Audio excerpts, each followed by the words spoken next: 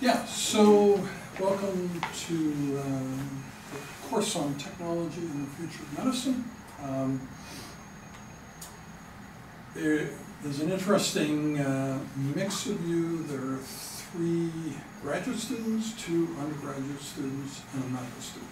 So that's what we have taking the course at the moment. Um, there may be more, there are other students who, indicated an interest. The idea behind the quiz you, you just took is to give you some idea of the baseline. The students uh, vary a lot in how much they know about the unusual subject matter of the course. And so it gives me a better idea of, of what level I should pitch things at, and uh, also proves how much many of you learn in the course, which is kind of cool. So the objectives of this first lecture is to outline the basic plan for the course, expectations, due dates, evaluation criteria, feedback mechanisms, and new features. To begin to introduce basic concepts like the technological singularity, exponential change, existential risk, and the accessible future. Accessible future means concept of the future that is easy to understand, that doesn't require you to read 17 books and work. Figure it out. Uh, we'll have to figure out, there are, there are a lot of sort of optional things for you that may surprise you, like we have a dormant student group. And on Thursday, you'll meet the potential president of this dormant student group. She has an awesome video about what the student group could be. But the student group is only useful if you guys want to do things out of regular class time. If you want to do some of the teaching and the presentations in a more party-like atmosphere with food and drink and entertainment and so on you'll see that over the years we've done that about a third of the time. So some terms, everybody's got jobs and kids and all sorts of things that mean that they don't want to do anything outside of regular class time and they can't imagine why anyone would do that. But on, on the odd times when we do do that, it's a lot of fun and it's, it's an interesting way to, to uh, sort of uh, mix uh, entertainment and, and, and uh, learning. So the um, student group, you may know that a University of Alberta student group has to have a budget, it has to have a bank account, it has to have money. So we, we have a small amount of money in the bank that could support these uh, social events related to the course. There is um, very interesting guy, Nikolai Smith, he went to law school but never practiced law, which is true of a lot of people who go to law school. And he's a street performer. I don't think that happens to very many of law, law school graduates, but he is intellectually quite able to understand everything in the course. And so he's performed with uh, balloon animals, balance, beam, and uh, bullwhip. And the first time we, we did that, I thought this is much too primitive for this course and the students won't like it. But actually the students sort of did like it. We've had him back two subsequent times, so he, he is an option if you decide that you want the student group and you want things outside of regular class time. There is also the question of where the extra people come from. They're not all TAs. A lot of people who take this course, it sort of converts them to a way of thinking and they keep coming back and they keep coming even though they've already had the course once. The course is quite different every term because a course about the future cannot be static, right? I mean, it has to morph and change as, as thoughts about the future morph and change.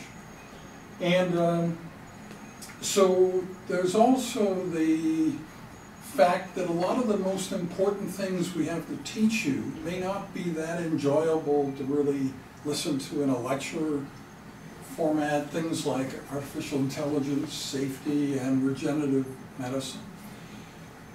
And if you take an average audience that would not voluntarily go to a lecture on those subjects and put the same subjects in poetry and music, you can then entertain them in an evening and they learn the same stuff, but it's fun and, and cool and that sort of thing. So that's what we do between turns. It's called The Future and All, all That Jazz. And it's with uh, singer Mallory Chipman, a 23-year-old uh, singer and Edmonton's best poets, youth poets. And there's also the summer program in France, but that program can only accommodate four people. Already has four people for uh, 2020. Um, yeah, so there's a lot. And ethics is pretty important every time. We have our ethicist, Gary Goldsand, who, who comes to many of our uh, sessions. Osmar Zaiane is um, a computing science prof who's also strongly committed to the course, so they're sort of my backup for what happens here. So we have an 80-minute class period on Tuesdays and Thursdays. Each registered student takes on a special project of their own with guidance. The faculty presents the results both as a final paper and a final presentation. So the course is very heavily weighted toward that final uh, presentation and paper. It has to fit the course. It can't be like similar to some other course, because this course is not similar to any other course. So for instance, something that's just technology and medicine, but doesn't have any futuristic feel, doesn't fit. Something that's just sort of the history and future or something. No, it has to have that feeling of uh, exponential change, you know, machine replacement of human labor, uh, machines getting smarter than we are in 10 years and smarter than the whole aggregate human race in, in like 15 to 20 years. So th those are ideas that you've never given a presentation or a paper on, and so the, the, there's, there's a wide variety of things you can write on. You can write about the future of war, the future of medicine, uh, you may wonder how medical the course is. So the, the guiding um, idea of the course is medicine writ large. What will medicine be like when we've cured all common diseases? And so that, what will doctors do then? Well, it'll be human enhancement, not only physical, but moral, spiritual, and the human wish for that is sort of on ending. So that really broadens the subject matter. It, it means, first off, that you don't have to know a lot of medical terms to understand the uh, lectures in the course. And secondly, you can pick something that is related to human enhancement, that is not really related to uh, therapies or existing disease states, and that still fits the course. And we have, have example presentations of um, previous students to help you with ideas. The idea of a mentor is if you feel sort of uncertain exactly how to structure your final presentation, you can get anybody who's ever taught in the course to help you with that, to give you ideas. Okay, so the summer summer experience that is open. It's possible for you to go to France and to do what these people did. Uh, all three of these guys have been there, so they can tell you what it's like, but that wouldn't be possible to the summer of 2021, which is sort of a long time to wait. But, uh, there's also potential paid work helping me do some of the things like video, green screens, and other things, not directly related to the course. So the um, that final topic, the topic of the paper and the presentation have to be the same. Um, the, the, um, so the, the presentation is thirty percent, the paper is forty percent. The midterm exam, which is not very mid, toward the end of term, on March uh, twenty-fourth, is worth twenty percent in class participation is worth ten percent. Um, a lot of the, the rules for the course came from the students themselves, like marking you in class participation. That was something the students suggested because they felt that, for instance, students who don't show up for most of the sessions, it, it really lessens the positive uh, uh, experience for the other students and, and, and uh, so on. So that's why we do that. You can have three unexcused absences, but after that, it, it starts to be deducted this.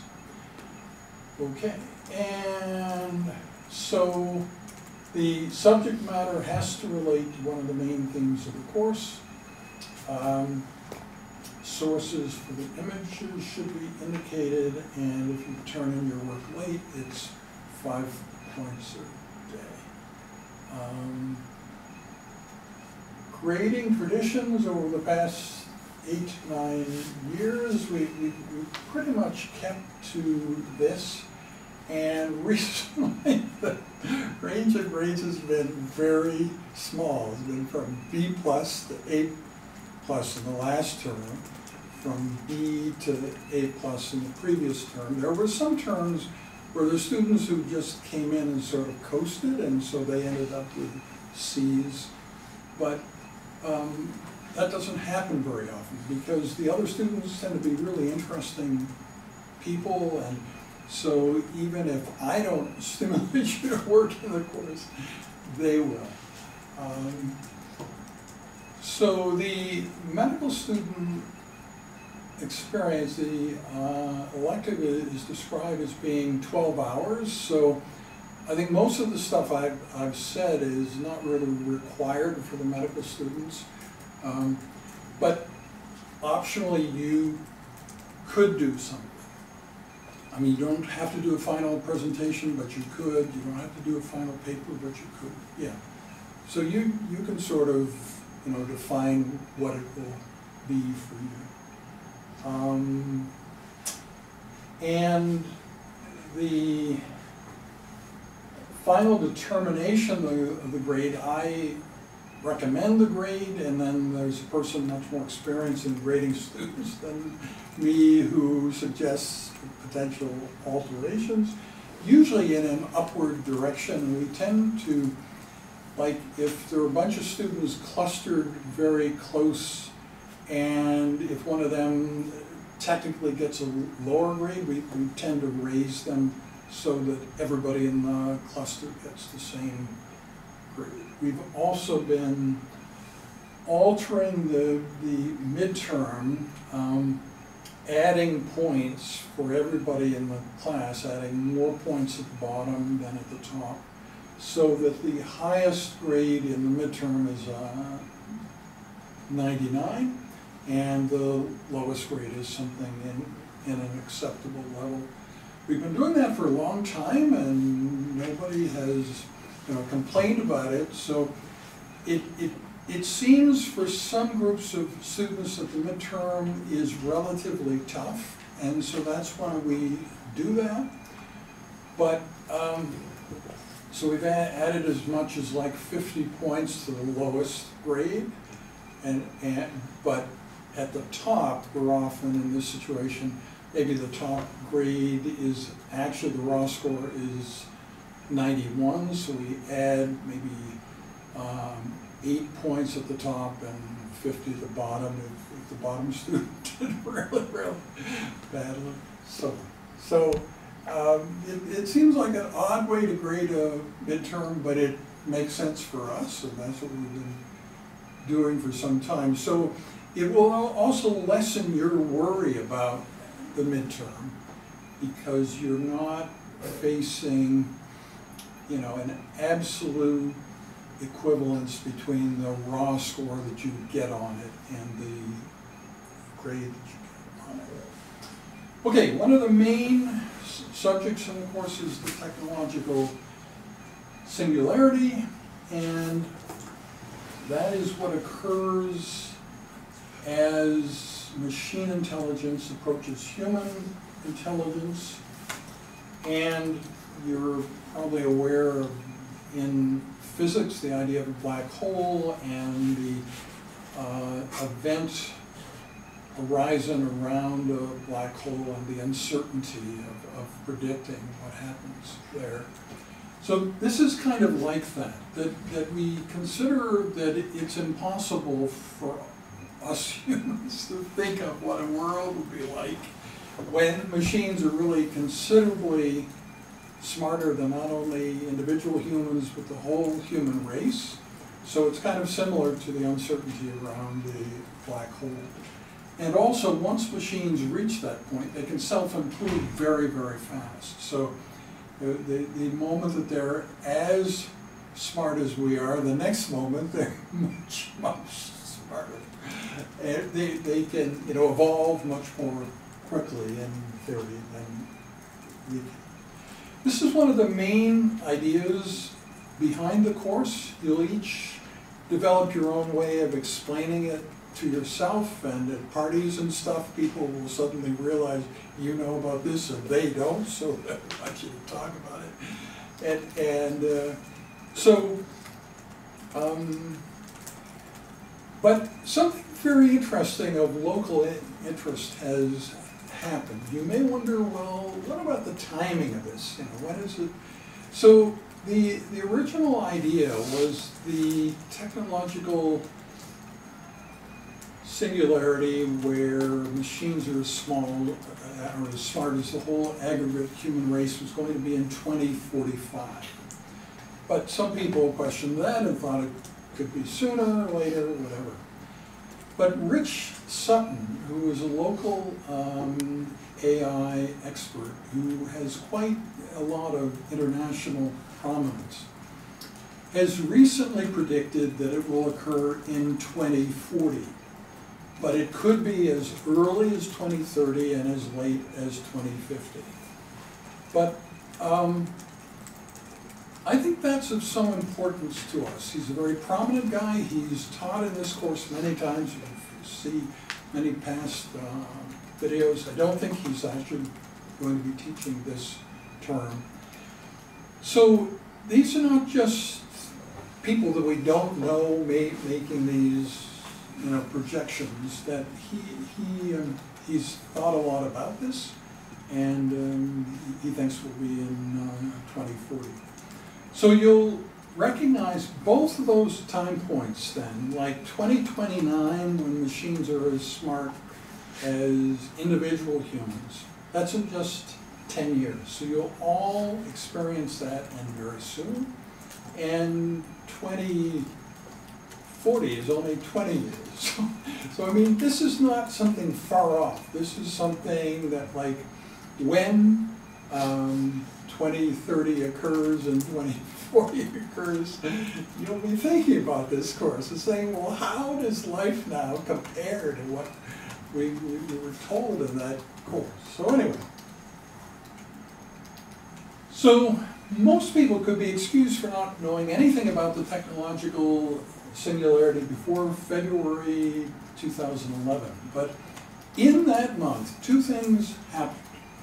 The singularity was on the cover of Time magazine, and the computer Watson um, beat the top human contenders in the TV game show Jeopardy. And that was a really important moment. It didn't prove that machines are smarter than humans in all ways, but at least in that way, in terms of answering questions the way one answers them on Jeopardy. Um, that was a moment. And it wasn't just that the computer was a little bit better. The, the computer did substantially better than the top human uh, player. The same thing has happened with the game of Go. when this occurred in 2011, people started talking about the game of Go and how complicated it was and uniquely human it was and you know that it would be a very long time before computers could master it. And they didn't even talk about what it would look like when computers mastered Go because they thought it'd be so long. But it, it didn't take that long. So it occurred in like 2015, 2016, and uh, was a really major accomplishment for the AI researchers here because they had trained the people who were directly involved with that, and so it was really cool. And the beauty of the game, the way the game pieces are, are arranged and looked, it completely different when, when the machine is playing versus the human playing. And it looks just much more beautiful and intriguing when you know machines play it. So it, so it's very interesting as a kind of thought about is that a sort of metaphor for the, how all future life is going to be, or is it just a game? You know, so it, don't really know. So how did this course begin? That was sort of interesting. It, it began nine years ago in 2011. I did two focus groups. That's, that's the way you do these things. You get people together in a room and you ask them what to do. So I did a focus group with undergraduates and then with graduate students. And it was kind of cool, the difference. The undergraduates just wanted to talk about grading. That was it. They wanted to know everything about grading. How you going to grade? How you going to grade this? How you going to grade that? What are the grades going to be? You know. Whereas the graduate students had such lofty ideas. They didn't care about grades at all. They just wanted to know how can we have major impact so shouldn't it be true that the course is open to the general public? That sure, you can sign up for it on Bear Tracks, but also you can just show up and sit and listen. And so we said, fine. And they also thought that it would be maybe life-changing for some people. They start taking the course and then when the course ends, they say, I want to keep on doing this. So they keep coming back and stuff. And that is a very real phenomenon. There is a student who shadowed me for a day when he was um, senior in high school. And on the basis of that, he decided to start coming to the course while he was still in high school. And then he kept coming once he went to university. And during the summer, some of you may have experienced this, the Pokemon Go craze here, here on uh, campus. He led a sort of famous chase of rare Pokemon and stuff like that. And he lectured in the course about that. We're very proud of, the youth of many of our lecturers, but also the timeliness. That was a lecture that people were actually interested in. You, if you did a lecture on Pokemon Go today, it would be stupid. I mean, people just wouldn't be interested. But it was interesting. So um, over time, the course sessions have, have, developed sort of rhythm. They don't always have to be like this, but maybe 50 minutes of formal presentation and then um, student discussion. Um, the very early days of the course, um, no matter who was presenting, I would make comments afterwards, and it seemed like my comments were always more insightful than anyone else's. this is such a stupid thing. And then at a moment in 2012, the student comments started to be more interesting than what I had to say. I thought, all right, this is what I've been looking for.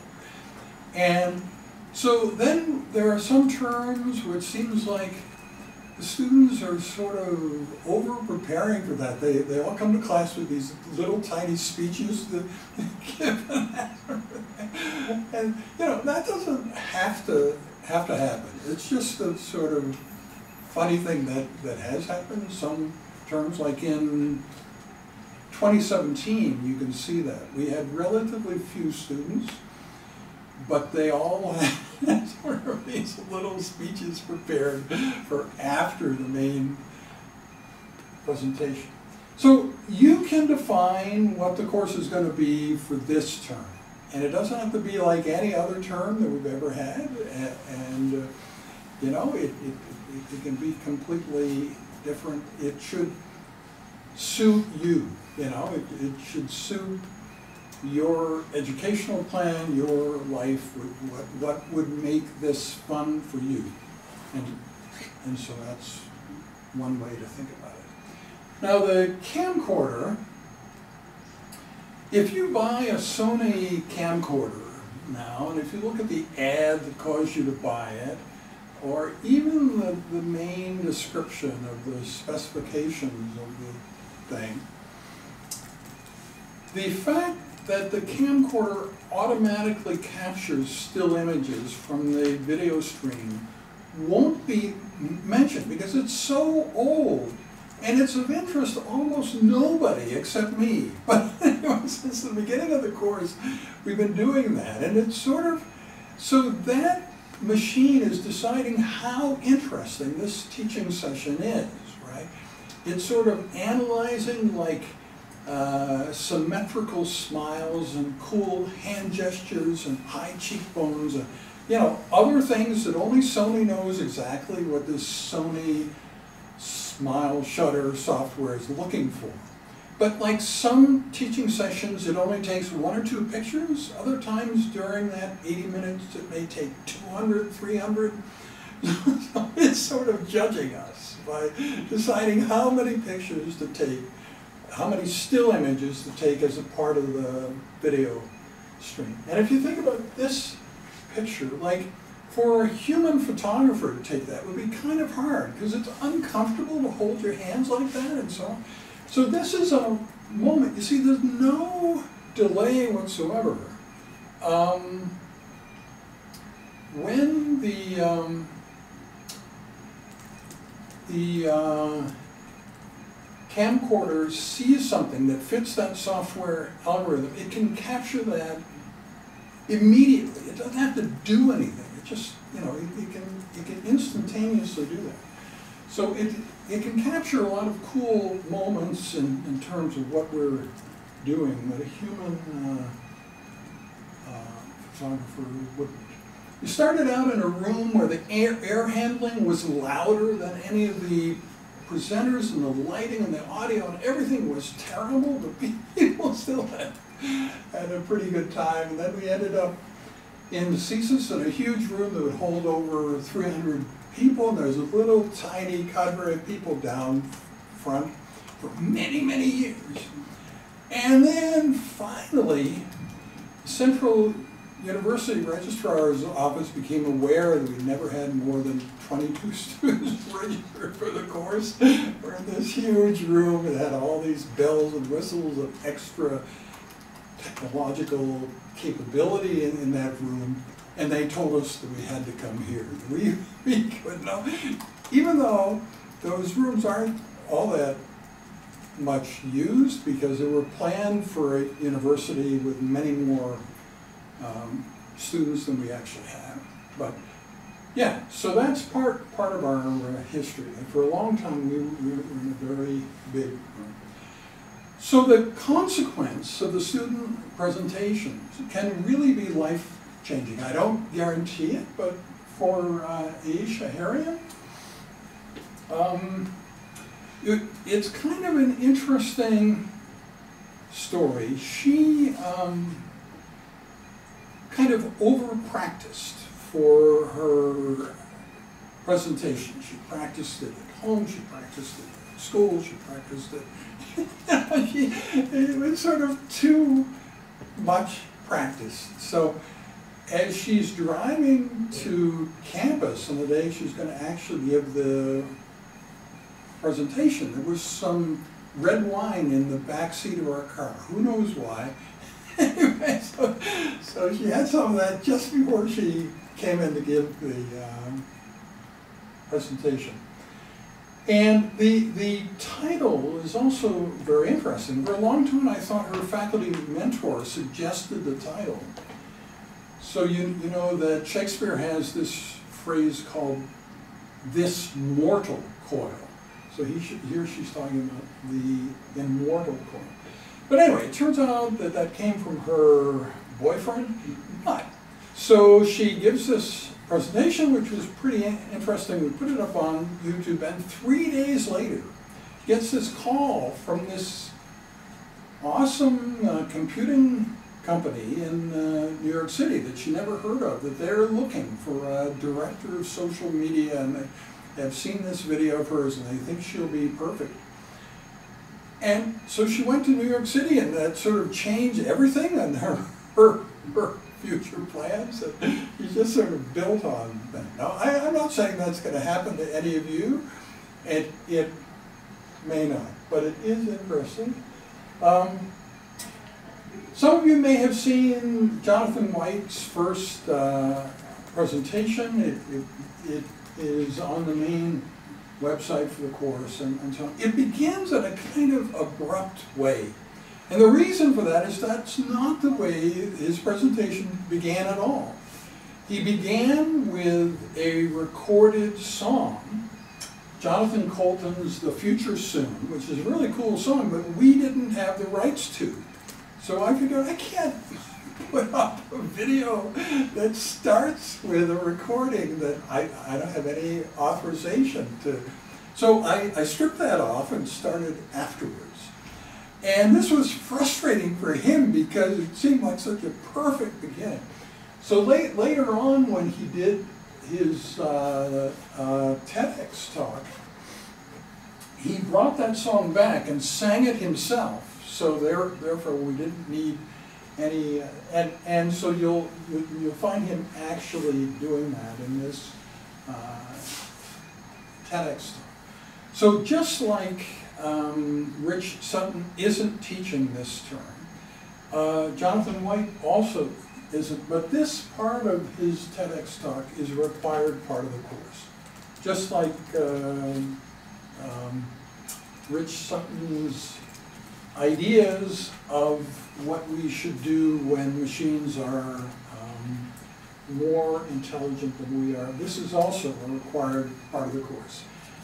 In uh, January 2015, there was a very high profile meeting about artificial intelligence safety in Puerto Rico. It didn't just have scientists and stuff, but it had reporters and media and it was yeah, it, it, it, was really something. And of the 89 people there, 88 of them were planning to enslave sentient AI.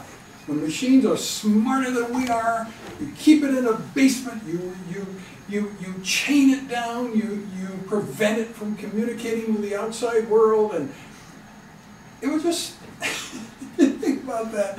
I don't know if you think that slavery has ever been a like like a successful strategy for uh, human beings, but particularly in this instance, I don't think that it will be when you're dealing with an entity that is more intelligent than you are, who may resent the fact that you're you're restricting it in this way. So Rich Sutton was the only one arguing for the sentient AI, saying you have to treat it in a friendly manner, like you would any other you know, intelligent human that you meet, included in your circle of empathy, you know. Um, so lose your sense of entitlement. Lose this idea that humans must always be in charge of the earth. Because if there's another group of sentient beings that's better at managing the earth than we are, why, why, would, why should they be in charge, right? And include AIs in your circle of uh, empathy. So you're required to know this, and it, it's sort of part of the artificial intelligence history of the U of A, the that happened. He was the only one arguing for this. He was the only one from the U of A at that meeting, and it was it was kind of a moment. So um, The future and all, all that jazz, I've already mentioned AI safety and regenerative medicine. They're, they're both areas where um, they're, they're not really ideal section, um, subjects for a standard lecture, and we found that to incorporate those ideas into poetry and music is a really interesting way to get things across. We, we've done that internationally. We, we did it in London, uh, UK, to a sort of sold out crowd. And what did they think we should do next? They thought we should be on Google Talks next. Well, the person who actually was on Google Talks next was Lady Gaga. And I, I just I didn't feel I was ready for Google Talks. But anyway, yeah. So I guess I'm, I'm just trying to give you an idea that this course can be for you just another course. That would be perfectly fine. You, you can approach it just like any other course. But it does have a, continu a, a considerable life beyond the, this uh, classroom going in many different directions. Uh, the course website ha has most of the past lectures for the course. Um, and there are uh, over 1,200 videos now, um, so the, the, there's quite a lot of uh, content there. So the course content, uh, technological singularity, existential risks, artificial intelligence, uh, genomics, nanotech, uh, ethics is, is very important in, in, as part of every subject. Ways to optimize positive outcome for humanity and the coevolution of humans and machines, the influence of these considerations on medicine of the future. And uh, we have prominent people internationally teaching. Most lectures are not very medical, they're easily understood. Balanced view provided by incorporating both tech skeptics and tech advocates. I, I think that's quite important that you hear from a, a variety of points of view rather than just one. Now we're, we're sort of at a point where we're thinking of the long-term uh, future of the course and the value of the videos that we already have and that sort of thing. So some of the students associated with the course, I think, will develop an interest in that. And, and um, so that um, is quite, quite exciting for me to think that, that the course can kind of keep on in that way for uh, quite a long time. So the, this problem of audience heterogeneity, in other words, how to make the subject matter palatable to people who know a lot about technology, little about technology. We, we uh, I think though, if the people ideas presented are genuinely new and interesting, it should be able to satisfy both groups, a broad spectrum, and the most interesting aspects have a lot to do with the impact of technology on young people today. There's considerable youth orientation in the course, and the faculty are getting younger and younger. Uh, Shawna Pandya is finishing her medical training. Um, she's had a very interesting life. Uh, she's um, started her own company. She went to Singularity University, as I did.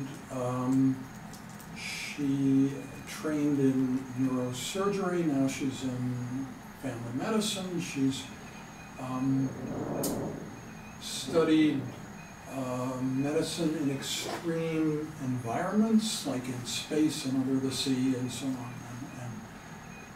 So um, for many years she hasn't taught in this course, but she is teaching this term. And what's cool about that is the paper that we wrote in 2013 about the course, she was quite active in the course at that time, so there's a lot about her in that paper. And you will also get to know her quite well. And she's similar to you in age, and so it, it's, it's kind of cool. Uh, similarly, um, Hannes, uh,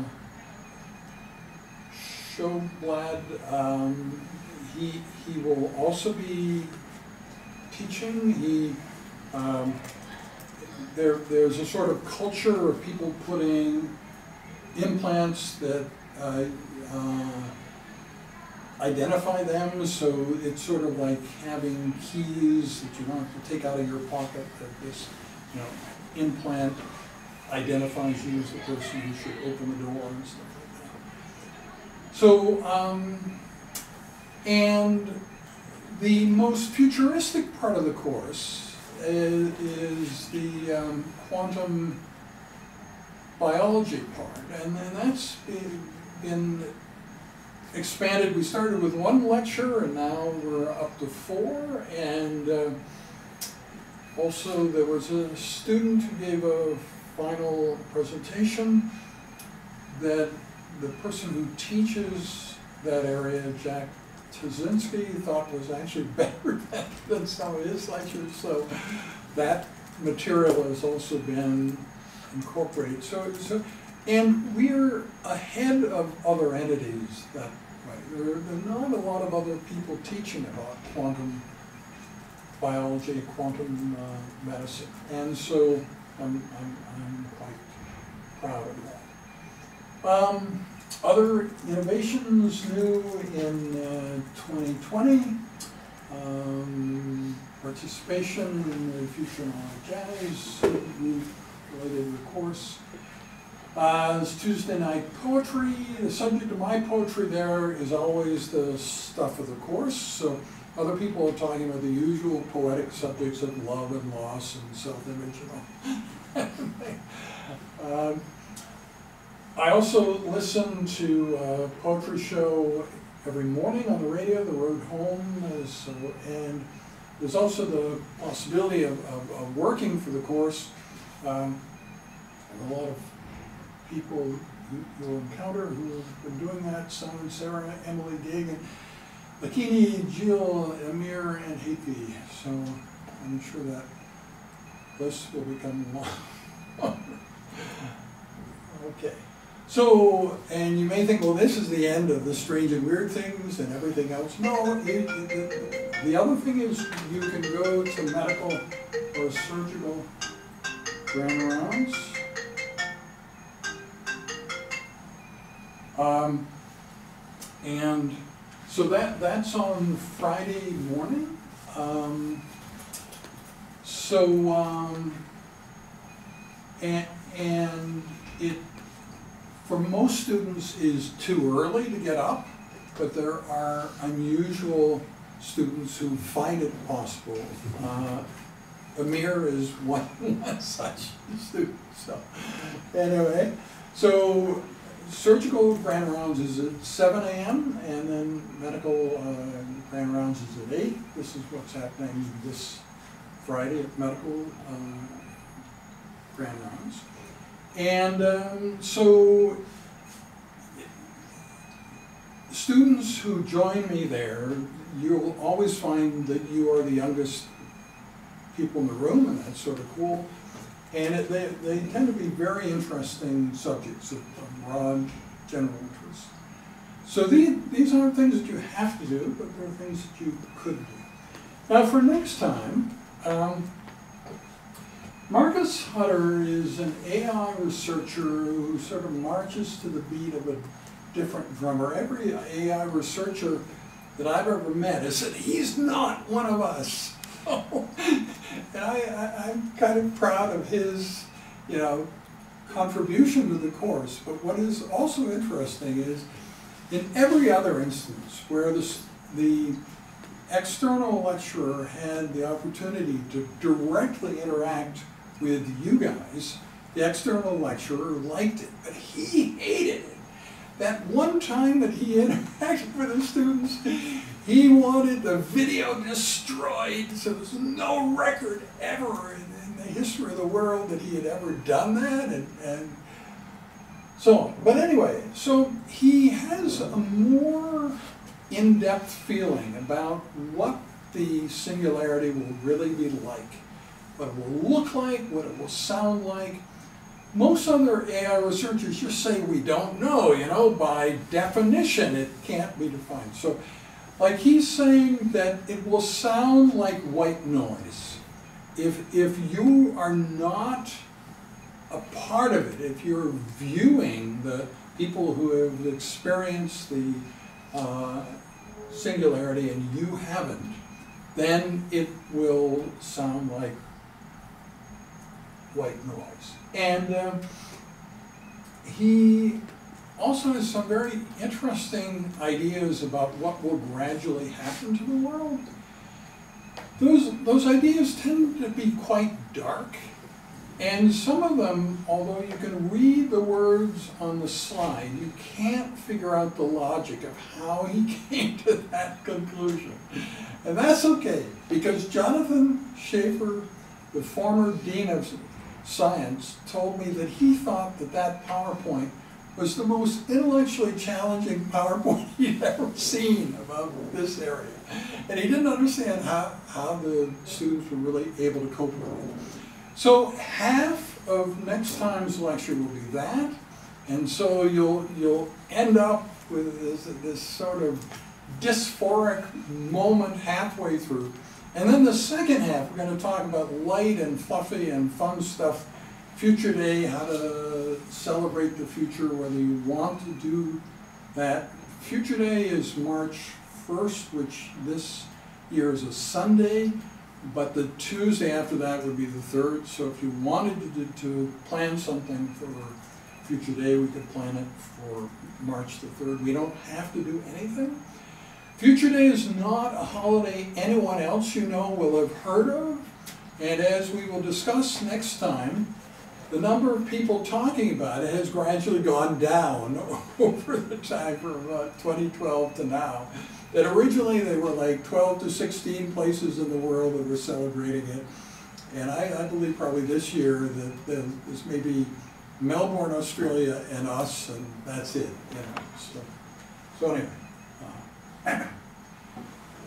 So dissemination of the ideas, how, how are we doing? So like the most popular videos on my YouTube channel are between five and 6,000 views. But the, um, the ideas of this course are very similar to the ideas of the uh, Big Bang Theory TV show. And, they had 80 to 100 million viewers. So it, there, there are a lot of people that we're not reaching, right, that we could in, in, in theory. I'm, I'm not dissatisfied with our current reach, but you could think about ways in, in which we could try to reach more people with the ideas of the course. Um, so unfriendly AI is, is one challenge of the future. What if AI doesn't like us? But that's probably not a very likely scenario. A more likely scenario is uh, that it will just completely ignore us, right? Because it's so much smarter than we are. It's like if you pass an ant or a grasshopper or something on your way here, you didn't hold any ill will toward it. You just didn't think very much about it, right? So, so anyway, um, it's interesting thinking about what that will be like to live in a world where we're not the smartest beings around. Um, and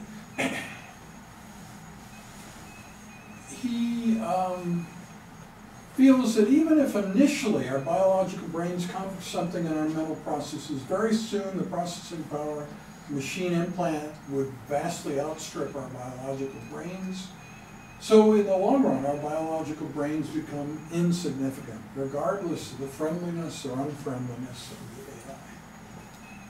And we're stuck in this sort of dysphoric eternal youth. Now, I don't know if those of you who are experiencing youth at the moment feel it's dysphoric and that you don't have the power to control your own lives that you would like. But there probably are some similarities with the prejudices and, and things that you face as a young person and what every human being will face when the surrounding machines are much smarter than we, we are. So you can imagine behavior that you might be might uh, engage in, like extreme risk taking, because we can back ourselves up from backups if something bad happens. This feeling of insignificance, lack of identity.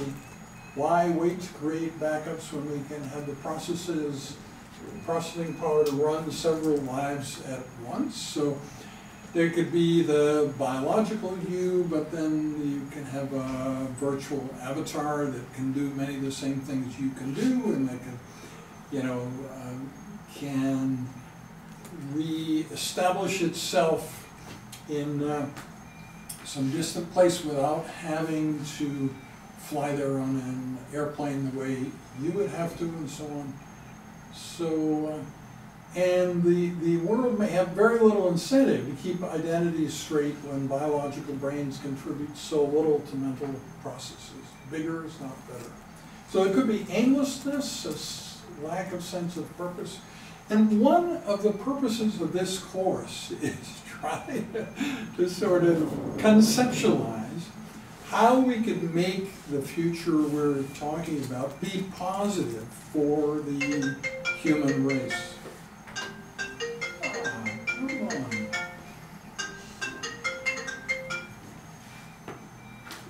Hello?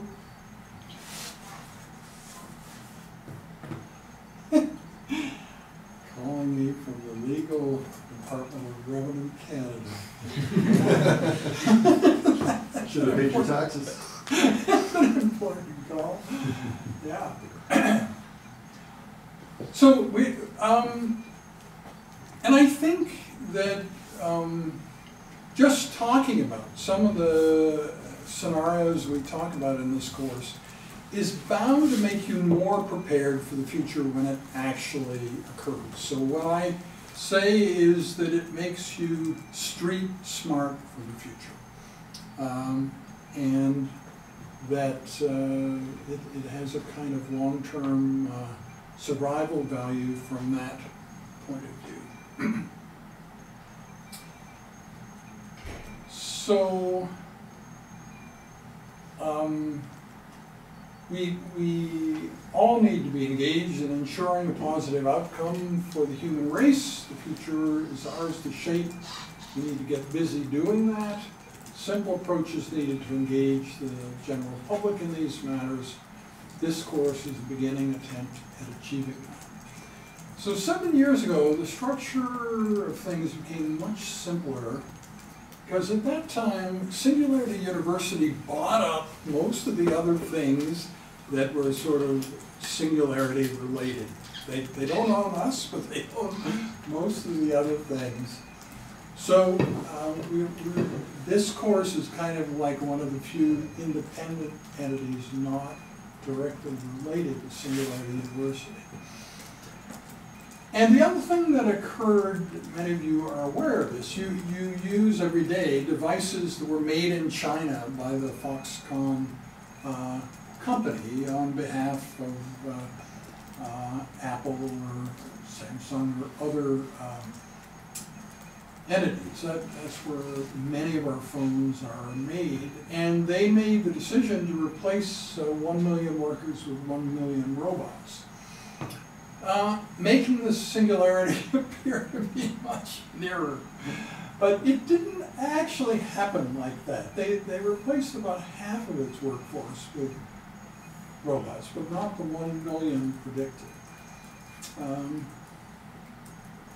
so what about these changes and medicine in terms of diseases and what the future of medicine will be like?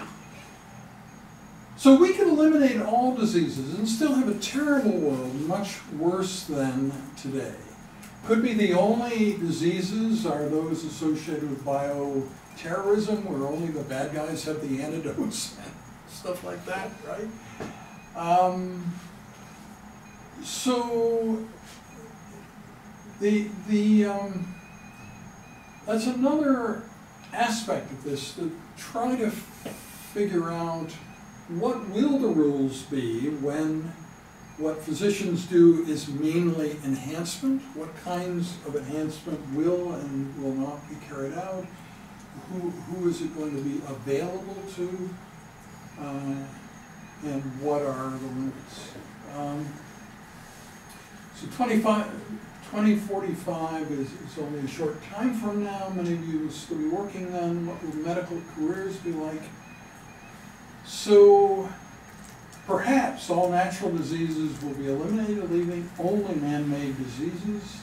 But that may leave as much for physicians to do as there is today.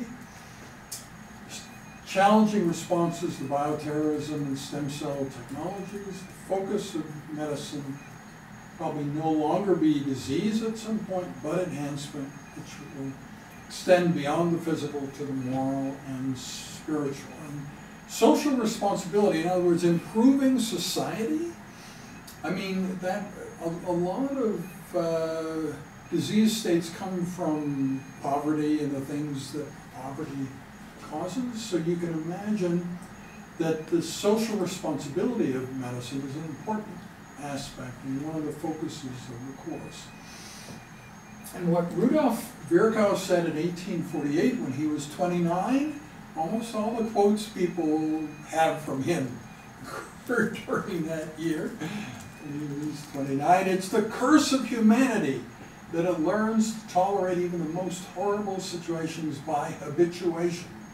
Physicians are the natural attorneys of the poor. The social problem should largely be solved by them. Now, you may not agree with that at all. It may seem to you, well, that's social work, you know, something.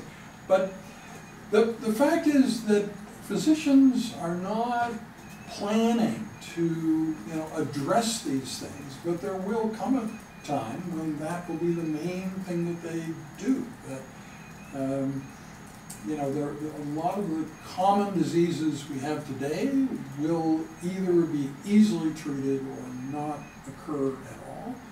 And so the question then will be, what enhancements are we going to undertake? You know, doesn't everybody want to be smarter, faster, taller, you know, whatever, and more moral and more spiritual and so on. So there's kind of no end to that. Okay, so how did this course come about? So in 2010, I became the only full-time university faculty member taking the Singularity University Executive course. Um, it's taken mainly by like uh, corporate CEOs and uh, entrepreneurs and government officials and so on. So I was really a statistical outlier. This is me there. Uh, but it, it, it, was a really interesting experience, and it, in a lot of the experiences you ha have in life, you take like a course for 10 days, and, and your knowledge increases a little bit, there's a little blip, and gradually that blip just disappears into nothingness, right? But this really sort of changed me and started me thinking about creating the course. I've been arguing for new cross-disciplinary structures in universities, better prepare us for the future, and I was talking about this as if I expected someone else to do it, and I realized, well, maybe I should it. So that's how the course began. Um, so it's interesting to think then, like when you wake up in the morning, maybe, like the first things you think about are the regrets about the things you want to do, you can't do, and the things you want to have, you can't have, right? But what about a world where neither one of those things are true? Where any experience you want, you can have. That virtual reality is better than real, it can be shared with friends, you know, sort of no limit on on experiences and that valuable goods, the price of them could come down to practically zero. And so both of the limits that you wake up every day, maybe the amount of things that you regret you can't do and you can't have, you would be able to do those things, you would be able to have those things. So that's a world of abundance. And the world you're familiar with is a world of scarcity, right? Where things are scarce and life is hard and so on. So, and for those of you that, that watch or listen to the news, and I realize that's unlikely to be everybody because there's two classes of people who don't watch the news today rich people, famous people, and young people. Uh, and, and so the news is getting shorter and shorter because they're trying to capture your interest. So like in the main CBC channels, the news used to be a three, three or four minutes. And then they realized that no young person in the world that has, has the has the interest in listening to that much news. So they're trying to bring it down to a point where you would, you actually listen. But anyway, um, it, it's, it's really unclear which way things are going. But I can tell you, there was a moment in the course, we had a very good friend of mine who taught in the course only once, and what he presented was the future of finance, but it was really about peak oil. And the simple message was the way the world is going to end is we're going to run out of oil, everybody will fight at, at that point and we'll kill each other off, and that's the way the world will end. And I was so angry because that's like the opposite of what this course is all about. You know that the solar energy coming to the earth is like many, many fold greater than the, the earth's total, total energy needs and stuff. So there's no way that we are solely dependent upon oil. But it is one way to think about things, right? So, and, and probably a lot of people around you uh, subconsciously believe in, in this idea of oil. That's the world that they've known. This is, you know, Alberta, we've got a lot of interest in oil. So, yeah, but anyway. Um, so you may also wonder about aging. So is this course only going to talk about stopping aging? Well, what about reversing aging? Because that is also, in theory, possible. Uh, so that, that, that is another feature of, of the predicted future. And we need to consider the possibility of a post-scarcity world and what medicine would be like in such a singularity utopia. Um, so is it guaranteed that we'll end up there? No, it isn't. And um, you can imagine, like th this is like a world better probably than any world you've ever considered. But there's also the, the opposite, which is like, uh, you know, apocalypse is worse than anything you've ever considered. And both of those are possible, right? So I suppose one purpose of the course is we're trying to sort of nudge the, the, the future a little bit toward this, this positive uh, uh, utopia side and away from the negative uh, outcome. So Moore's law, we will talk about this many, many times, but it's price performance of computing, it's an exponential curve, and it is what predicts that in 2029, um, machines will be as smart as individual humans, and in 2040, as uh, smart as the whole human race. Um, and this also needs to become something that you have your own way of talking about it. So it, the doubling is approximately every 18 months that the um, performance of um, uh, computing devices uh, is increasing at an exponential rate. So It's a little muted in medicine. Why? Because medicine is heavily regulated. It, it, it doesn't work quite like other areas of tech. Um, so the, the um, reason that it's different in medicine, regulatory oversight that is almost completely focused on compliance, discourages risk-taking and innovation. Healthcare doesn't have the same financial reward system focuses. Facebook isn't going to pay one billion dollars for latest hot ticket item in imaging or medical informatics. Security always trumps information sharing. So better, faster linkages are constrained because of security concerns, most of which are bogus.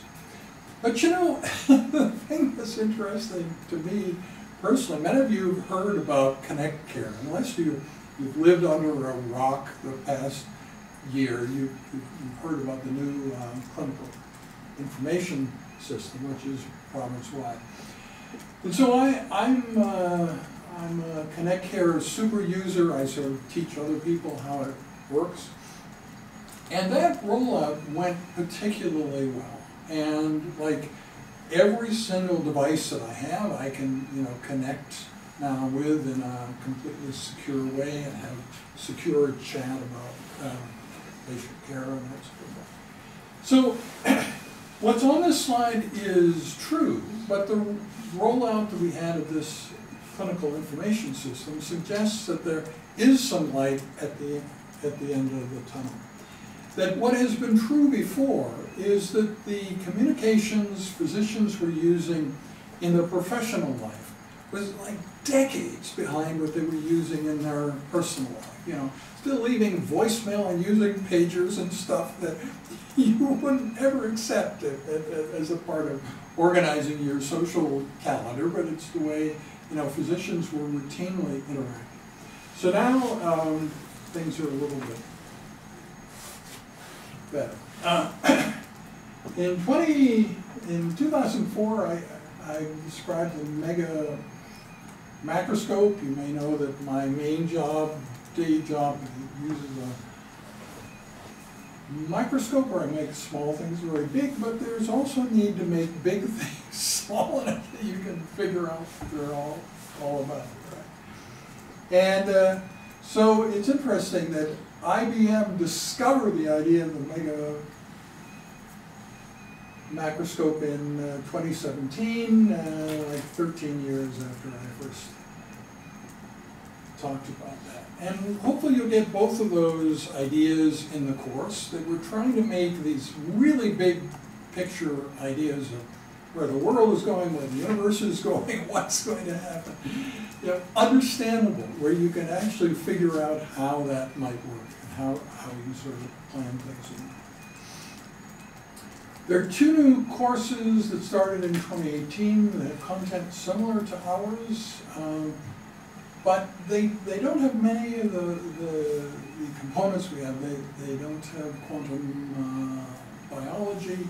The most interesting parts of our course are, are still missing from these areas. Um, so I welcome your suggestion of how to capture the imagination of the public, start everybody thinking about these matters.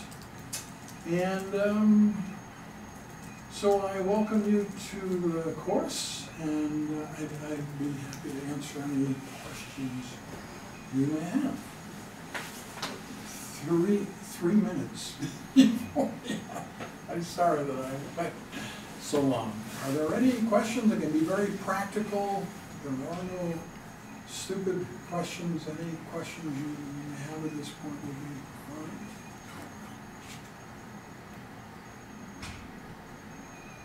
fine. Okay, well, let me ask one. Lakini Bat will be here on Thursday. She is enthusiastic about starting up the student group and getting you guys interested in that. Is that something you're interested in? Uh, uh, do you like the idea of having entertainment and food and drink and doing things outside of regular class time, or is that just completely impractical when you consider your life in this course, and you only want this course during a regular class period, and it's, it's all well and good that we have this, uh, um, student group related to the course, but it's not practical this term. So what, what are your thoughts about that? Any feelings one way or the other?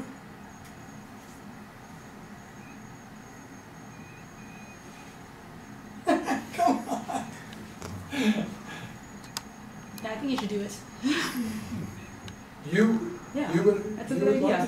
I think so, because it kind of um, puts current students and former students together in the same room, right? Yeah, That's your intention. yeah, yeah, yeah. So that's, that's right. So the, so the student group wouldn't have to be like all, only or primarily made up of students taking the, the course now. There's considerable cadre of, um, students out there who, who have a history with the course last year, the year before, so. Um, So let, let's keep thinking about it. Um, What about other, were there parts of today's presentation that confused you or that you want to ask questions about? Was this what you expected? It was what you expected, okay, well, that's good.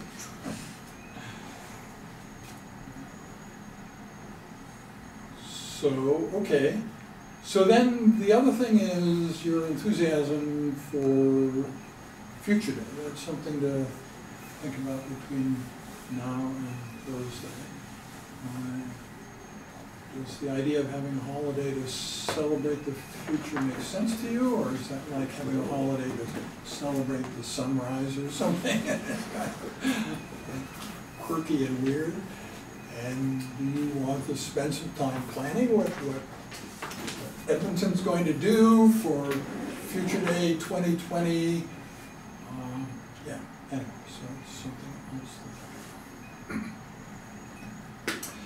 So there will be additional students and people here on Thursday because the number of the students could only come on Thursday. Um, So you meet of the rest of this interesting group. Uh, uh, Rebecca met a whole bunch of them at a dinner. So, Some of the rest of those people were here on Thursday. Any other questions, concerns? Any? Okay, great, well, thanks for coming and we'll see